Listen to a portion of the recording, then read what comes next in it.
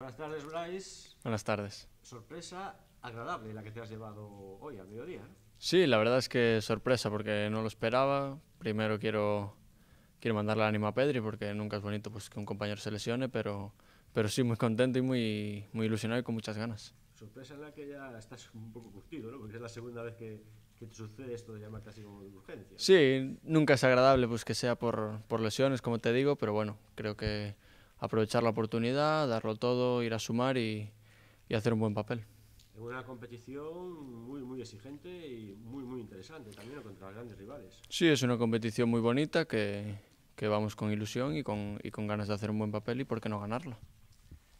Imagino que una vez que estés allí vas a pelear al máximo por, por tener minutos, por incluso por ser titular, ¿no? Eso esa es tu idea también.